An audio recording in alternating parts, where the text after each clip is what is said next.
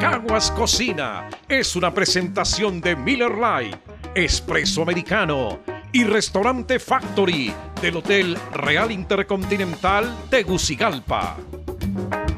Bienvenidos a Caguas Cocina. En el episodio de hoy vamos a platicar con una leyenda viviente de los goleadores catrachos, Juan Flores.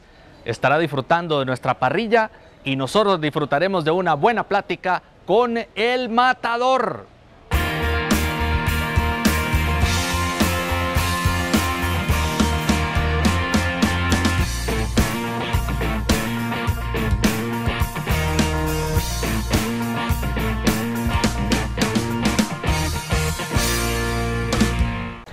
Juan Flores, ¿cómo estás? Mucho gusto. Bienvenido. Gracias. Hemos tenido varias pláticas con Juan Flores a través de los años. Eh, vos sos más joven que yo, ¿verdad? Yo creo que sí. No, Más jo- yo sí, creo- yo creo que sí. Estoy casi seguro. Vos decís que sí, hombre. O sea, ganás, ganás años, hombre. Me vas ¿Ah? a levantar el ánimo. Bueno, tenemos eh, entraña, asadito, hay ribeye. Me decís que te está inclinando por el, por el asadito sin hueso. Exacto, sí. Estamos con las carnes del restaurante Factory del Hotel Real Intercontinental en Tegucigalpa y solo me decís si querés eh, la porción completa, si querés una parte. No, no, mucho, pues sería ¿Es una mucho? parte. sí. Aquí, una Sí, parte. exacto. No se aventó, no se aventó, pero está Sí, bien. no, Vamos a comenzar.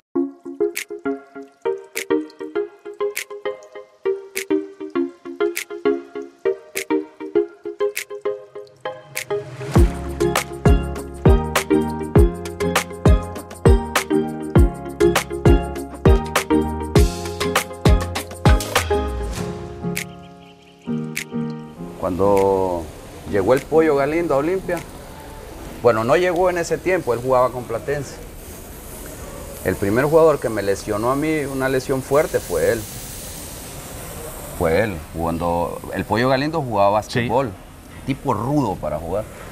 Entonces vino el técnico y lo metió y yo era centro delantero, entonces él era defensa central, como era grandote, y le dijo agarrarlo. Y porque él me contó después, me dijo, a mí me mandaron a matarte. Y yo, pues, yo cumplí, me dijo. Y casi me rompe la rodilla ahí en Cortés cuando el estadio era horrible, era como arena, había una cuestión ahí. Esa fue la primera lesión y yo cargué con esa lesión. Me fui a México, ya estaba lesionado. Este, y al final este, vine a jugar ese torneo con la universidad también, ya siempre lesionado. Pero sí, y después llegó a Olimpia él. Y le decía yo, "Ah, no es posible que me venga siguiendo acá todavía. Y por lo, este, men- por lo menos ya no te va a romper no, otra vez. después Ah. más bien me cuidaba. No, después él me protegía, me decía, no, si vos sos el que nos das los premios, me dice, ¿cómo te voy a golpear? Mira, el ninja Bardales, cuando jugaba, Oh, famoso ninja. el ninja Ah. Bardales me decía a mí, este, no, me decía, no te preocupes, a vos no te voy a golpear, me decía, entonces yo le echaba al Chueco Figueroa. No, se lo Figueroa era centro delantero. sí, Entonces claro, yo, yo- yo me tiraba a los costados y le decía yo al Chueco, mira, vos tenés más físico, metete en el centro, le decía yo me voy a ir al costado. ¿Lo está viendo? Yo me voy a ir al costado, le yo te voy a tirar centros a vos, le decía yo. Pero yo Ya, ya sabía que en medio lo Chueco. iba a agarrar y el chueco se metía y cuando terminó el partido me decía. Los estaban Mira, destrozando. me ¿ah? decía vos, un, sos-". me decía una mala palabra. Me decía, me mandaste a la guerra para que me matara ese animal ahí. Me decía, ay, qué ninja bardales.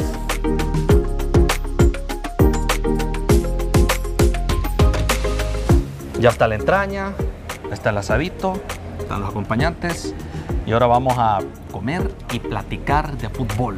¿ah? ¿Qué mejor combinación que esa? Ah, No hay, Excelente, excelente. Vamos pues.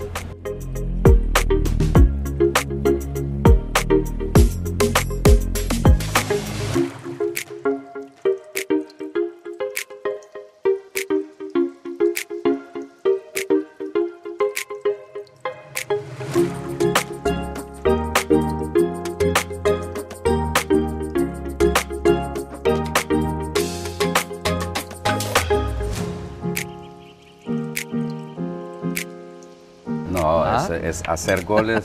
Yo solo me acuerdo lo que dijo Hugo Sánchez, ¿Qué dijo Hugo Sánchez? que era como tener un orgasmo, ¿eh? Es cierto. hacer un gol. Lo dijo en su momento.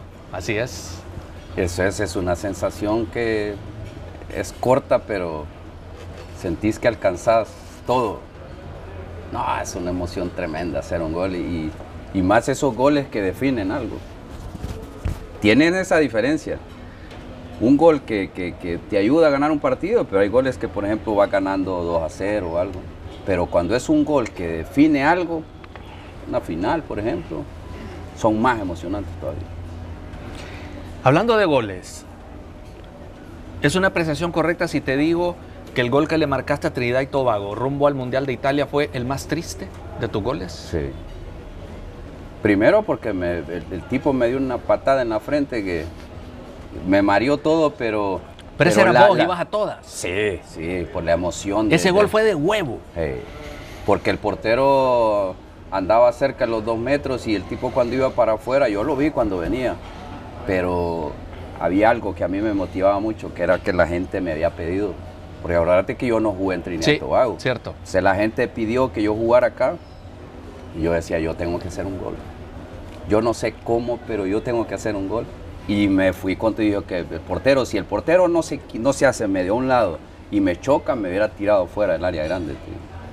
Tipo demasiado grande, pero Sí. yo dije, yo aquí me la voy a jugar. Y cuando la pelota todavía no entraba, que yo le metí el último toque a la pelota con la frente, un defensa la quiso sacar y me pegó en la frente. Con... Doblemente, doblemente triste entonces. Sí, sí, El porque golpe me, me golpeó y, y la no pasó nada. Sí, fue terrible, la verdad. No, después cuando nos empataron, este, y que ellos habían dicho, los, los- cuando llegaron dijeron que nos iban a eliminar. Yo no sé cómo lo sabían, pero los tipos dijeron, los vamos a eliminar. Y así fue, pues. De ahí me contaron un montón de cosas ahí, pero yo no, no, no sé si eso tenga que ver. Como que este era un plan, que fue un plan de la CONCACAF, que No, hubo trampa. no, no, de cuestiones de, de- de brujería y de cosas así. ¿Y vos crees en la brujería? Pues yo Fíjate que yo yo no. creo que hay gente que hace, que dice hacer brujería, pero no sé si funciona. Yo a Me veces, parece que no. A veces platico con, con mi papá, mi papá es cristiano, Sí. y yo le digo que no, que yo no creo en esas cosas, o sea, de, de gente que, que dicen que se convierte en animales y que todo eso, y digo yo, nah, eso ya es... Pero dicen que es verdad, pues. No. Pero yo te digo, yo no sé. No. Ese, ese tipo de cosas habla la gente, y vos sabes que en, lo- en los pueblos hablan mucho de eso. Yo no sé si eso exista, sé, va. Ahí te la dejo.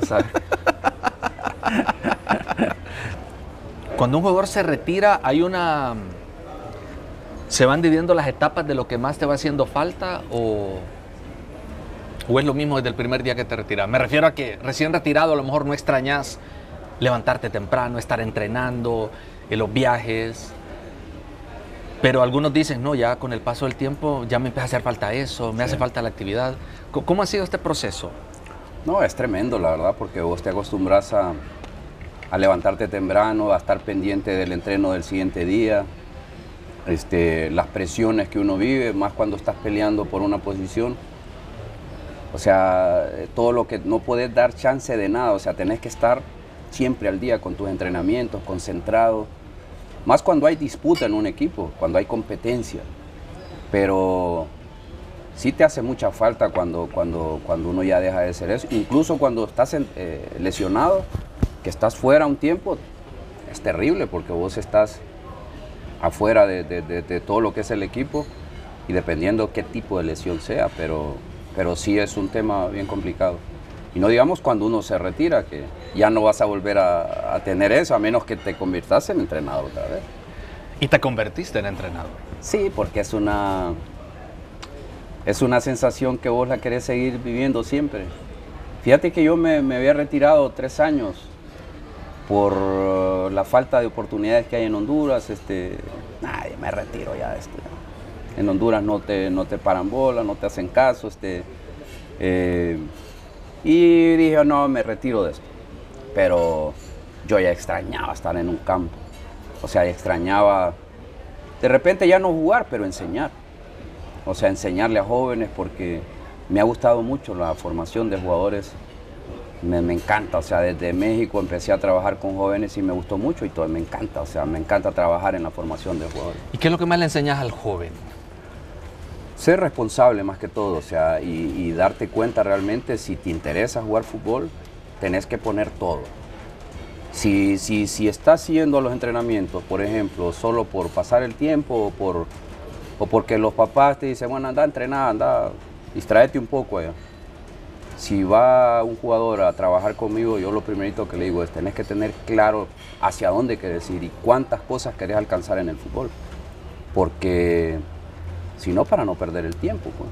Que hay muchachos que te llegan así, desubicados completamente, gente que les dice, este, sos una maravilla de jugador y no te pueden ni dominar la pelota. Pero son muchachos que los, o sea, les enferman la cabeza y ellos creen que sí, que ya son grandes estrellas y no es así. O sea, porque cuando vos pones, aparte del trabajo táctico, que es lo que más le cuesta a un joven, es la parte táctica. La parte técnica vos se la lo puedes mejorar muchísimo, pero la parte táctica es un problema fuerte en el fútbol. A mí no se me olvida lo que me dijo el profe Mario Sanabria. Me dice, eh, mira, eh, para llegar a, la cima, subir las gradas cuesta, pero para caerte, Te caes de un solo. En, en, dos minutos estás abajo. Dice. Fíjate que yo siempre digo que yo, yo tuve mucha suerte en esto del fútbol. Mira, me tocó una época, cuando yo llegué a Olimpia yo tenía 17 años. No me preguntes nada de táctica porque yo no sabía nada. ¿Y cómo llegaste? A, mí me trajeron de, mi pueblo a Olimpia jugando en el colegio. Yo jugaba con, un equipo de ahí de mi pueblo, con viejos. Yo tenía 16 años. ¿Y, quién, te, quién te vio?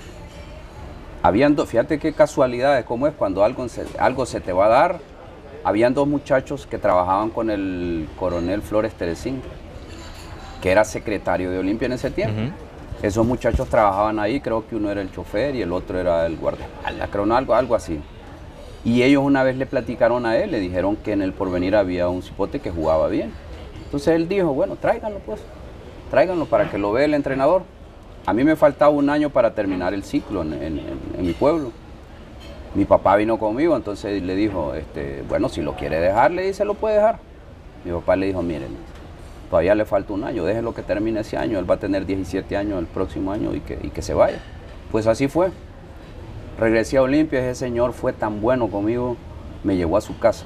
Ahí me tuvo en su casa porque Olimpia andaba haciendo la pretemporada afuera. Cuando pasó esa semana me llevó a Olimpia. Mira Mauricio, yo admiraba pero y que no los conocía. ¿eh? Yo los admiraba por la radio, porque los escuchaba por la radio, los nombres yo me los sabía, pero por la radio, por televisión no se miraba. Tecate Norales, el Perro González, Belarmino Rivera, el Indio Ruiz, Daniel Zapata, estaban extranjeros, estaba Mereles, Centurión, estaba Yuvini Carreño, oh. que de Motagua había pasado a Olimpia. Y de repente es que yo me encontré ahí en medio, yo veía pasar a Tecate, y a todos los veía pasar ahí con sus maletas. Y yo me quedaba, se me caía la baba viendo. Entonces yo decía, yo quiero ser como ellos. Yo quiero un día ser como ellos. Y fíjate que tuve mucha suerte porque les caí bien a casi a todos. Mira, me trataban como, como, como el niño de ahí. Bueno, me mandaban a ser mandado. Me decían, anda a traerme tal cosa. Y yo iba, pues. ¿Y cómo les decía que no? Este, pero ¿Quién era el que más te mandaba a ser mandados? Ah, estaba Oscar García. El gran Oscar García, zaguero central. Correcto. Ya me imagino que en sus años cerca de, terminar. Sí, sí, ya él jugó. Porque él es de los 70. Sí, jugó un. Fíjate que jugó, creo, uno o dos torneos estuve yo con él. Y el tipo era de voz fuerte. No, no, bastante. Entonces me decía, hey, vos hipote, me decía, anda a traerme tal cosa. ¿Y qué te mandaba a traer? Ahí yo, me mandaba a hacer mandados a la pulpería, anda a comprarme unos frescos allá, o, anda a traerme esto. Tráeme la bolsa de pan, dice. Sí, eh, antes el pan era fijo. Pan con refresco. Sí. Y yo iba y era obediente. Pero de ahí los demás, ah, estaba Roja Chavarría. Mira, me trataban muy bien. Estaba Carlos Solís, me acuerdo, que era el tercer portero, Oscar Vanegas, Belarmino por primera vez fui al cine una vez, yo no conocía el cine, no conocía nada. Y me dijeron ellos, venite, vamos a ir al cine. ¿Has ido al cine? No. Vámonos. La primera vez que yo fui a San Pedro no conocía a San Pedro. Yo fui con Olin. Bueno, pues espera, pues contame, ¿cuál fue la película que viste? La primera que viste. ¿Te acordás? Los hermanos Caradura. ¡Oh! Buenísima. Esa fue la primera película que yo vi porque ellos me llevaron. Uf, buenísima. Estábamos en el hotel nosotros concentrados y, y yo estoy sentado ahí, güey yo no sabía nada de cómo era el rollo de estar ahí. Yo bien me quedaba viéndolos a ellos. Porque yo los admiraba mucho y de repente es que yo andaba con ellos y me llevaban al cine y, mira, yo por eso siempre digo, yo tuve mucha suerte porque no, no siempre cae bien en un grupo.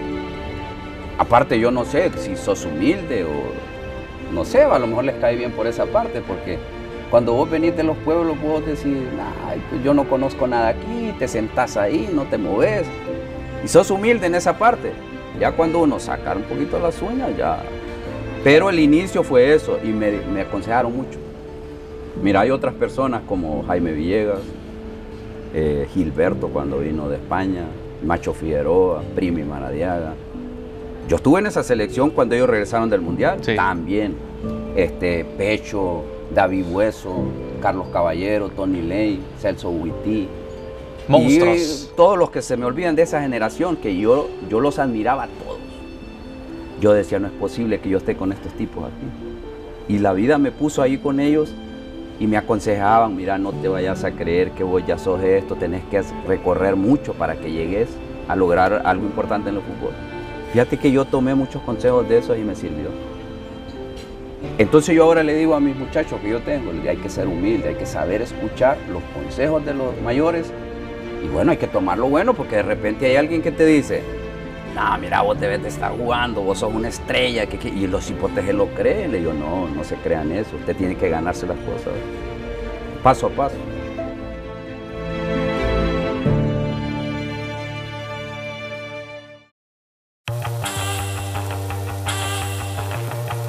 Esta es la original cerveza Light. Elaborada por más de 40 años con la convicción de que una cerveza puede ser light y tener gran sabor. Por eso, cuando los buenos momentos piden una cerveza light con sabor verdadero, no hay otra mejor. Mantente auténtico. Miller Light. Este es tu día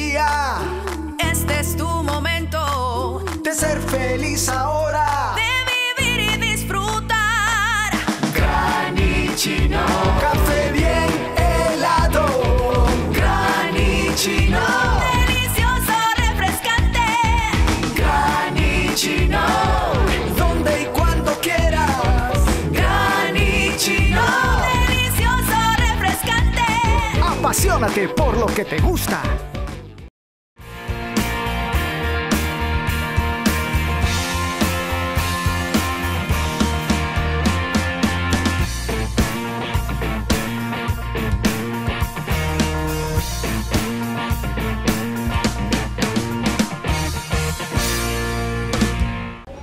Hasta que un día, no me lo dijo él, sino que me lo dijo el finado Malinowski. Me dijo, mira, me dice, alista tus cosas, me dijo, que mañana te vas a México. Hoy bien, Uf. yo vengo de entrenar. Él vivía en el, en, en el un hotel que está ahí por ese barrio de allá. Y me dice, mañana te vas a México, anda a alistar tu maleta. ¿Cómo? Le dije yo. ¿Querés ir o no querés ir? Yo era la estrella en Olimpia, o sea, yo hacía los goles, yo, o sea, me sentía, yo era, mi mejor momento era en ese Sí. tiempo. Y pues te voy a ser sincero, no, no, no me agradó mucho, decía yo, a México, decía yo. Y como nos meten en la cabeza que los mexicanos no nos quieren, que los mexicanos esto, que no. No, me dices que mañana vas. Y después me aparece Gisleno Medina, que él nunca me había dicho nada a mí, me dice, cierto, lista la maleta, que mañana nos vamos. Ni a mi familia, te estoy hablando que era, era el mediodía. Y le hablo a mi papá yo. Y le digo, fíjese que me están diciendo que mañana tengo que irme a México. ¿Cómo? Me dijo, "Que vas a México, sí. Bueno, pues es una oportunidad, me dijo. Pero yo estaba asustado, te- no te lo niego, yo estaba asustado. Y pero me dio mucha, o sea, mucho valor el, el hecho de que Dolmo iba también. Mira, Mauricio. Iba sí, con sí. el alero. ¿Cómo, Sí. cómo no va a ir Aleres y va. Dolmo Flores? ¡Qué bárbaro! sí. ¿Ah? Imagínate, pues te vuelvo a repetir, yo, yo tuve mucha suerte en el fútbol. Si yo me hubiese ido solo a México, hubiese batallado más. Pero con Dolmo y como ese moreno no se le, no se le achicaba a nadie. Dolmo llegó a México y ya llegó y, y, ajá, ¿y cómo está aquí la cosa? Y que no sé qué. Dolmo así era. Yo no, yo llegaba ya más tranquilo.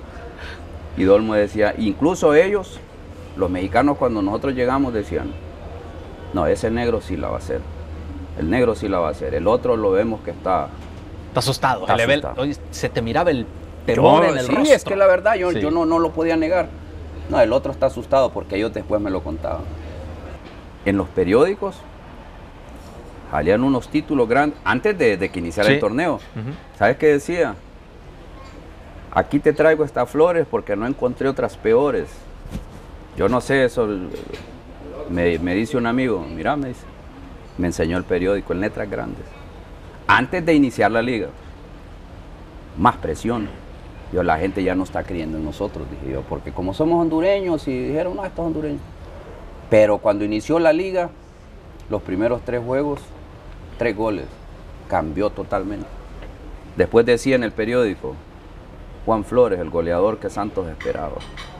Cambió todo lo, lo eso, lo malo, cambió, pues sabes, los goles. Los goles son amores, Juan. Sí, Ah. sí, sí, sí. Y ahí empezó todo el romance con la gente. A mí la gente en ese lugar me adora, la verdad. Te soy sincero, no, yo soy hondureño y quiero mi país, pero, pero cuando yo estoy ahí en ese lugar, o sea, la gente me trata de una manera muy especial. Yo digo, bueno, Dios tenía preparado eso para mí. Yo no quería venir realmente. Yo cuando llegué a esa ciudad a mí no me gustó. Primero porque era el infierno. Estás hablando de 42 grados de temperatura. El primer entrenamiento, Dolmo se fue a meter debajo de unas gradas y, y ahí buscando la sombra, porque imagínate 42 grados. Para que. Dolmo vaya a buscar la Bueno, sombra, bueno. costeño. Oíme, ya me imagino el calorcito. No, impresionante ayer, ayer No. el desierto. Es desierto, Sí. pero, pero fíjate, no, no, nos ganamos el cariño de la gente. A Dolmo también lo quieren de una manera.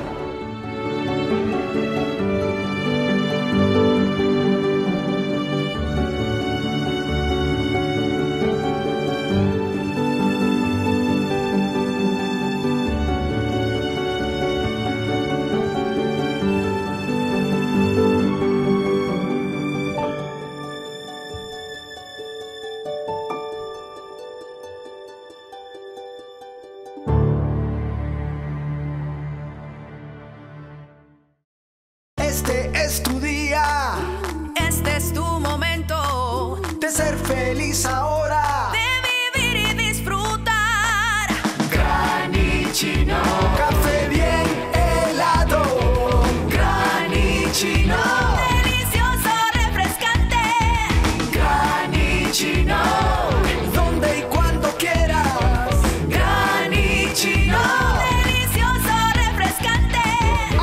Por lo que te gusta.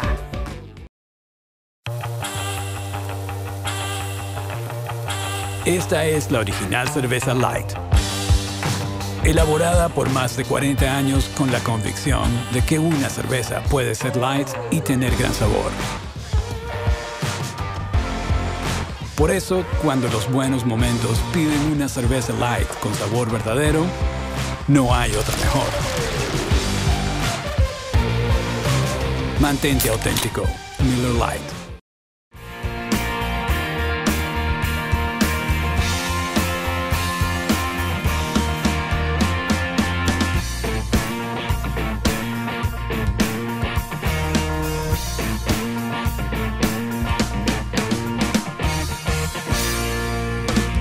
Ese es el gran gusto que te da. Ahora que yo soy entrenador, el gusto que me da es ver muchachos que yo los trabajé, verlos triunfar en primera división. Ese es el gusto que yo tengo. No es por dinero ni por nada, porque vos sabes que aquí no te pagan, no, no pagan en Honduras. Pero cuando yo veo un muchacho que con mis consejos y con mi experiencia de, de trabajar con jóvenes, lo hago que llegue a una selección, por ejemplo, ahí en la UPN, en los donde estoy trabajando ahora, allí no tomaban en cuenta a nadie. Por lo menos ahora ya tomaron en cuenta Peña, estuvo en la- el proceso este. Fabián habló conmigo, porque Fabián es amigo mío. Este, me preguntó, dime qué jugadores este, este y este. Dije, Vos observarlo. Vos sabrás si te gustan o no te gustan. Ya es decisión tuya. Yo nada más te, te doy. Entonces los muchachos que fueron a esos procesos de selección, ahora están agradecidos. Gracias, profe, porque por usted nos ayudó a darnos un empujoncito a que nos vieran. Y ese es el propósito. ahora queremos que muchachos vayan a sus 20, a sus 17. Tres muchachos de, de la reserva estuvieron en sus 17 en el proceso este que, no le fue bien. Por primera vez, tres muchachos de la UPN estuvieron ahí. Entonces el detalle es ese y el propósito es ese, que muchachos se vayan dando a conocer, pero tenemos que organizarnos mejor en el fútbol en Honduras. Yo hablo con algunos maestros de ahí de la, de la UPN. Son gente que tienen buenas ideas, pero falta el apoyo. O sea, cuando todos quieran jalar para un solo lado, yo creo que se van a hacer cosas muy bien. Bien planeadas, bien planificadas, yo creo que logras cosas importantes. Pero si la pregunta que vos me hiciste, yo te digo, mi gran gusto es trabajar con jóvenes, formarlos bien, que sepan qué se van a encontrar más adelante en, en- un equipo de fútbol, que no les pase lo que me pasó a mí. Cuando yo llegué acá yo no sabía nada. A mí me decían de qué jugar juego tal posición, pero no sabía nada. Y vos te vas a encontrar muchachos en ligas menores que no te saben jugar tácticamente, no.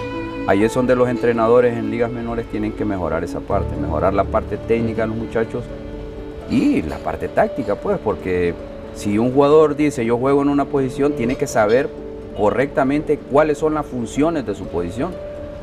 No que a estas alturas vos, yo trabajo con reserva, yo, yo ahí tengo muchachos de, info- de infantil y juvenil. Yo supongo que esos muchachos que vienen de esas categorías ya vienen formados. Los pongo en la posición que ellos me dicen y cuando vos te los encontrás no te saben jugar. Entonces tenés que regresar otra vez vos a trabajar en la parte táctica que vos ya no deberías de trabajar en eso. O sea, en la, en la cuestión técnica y todo eso.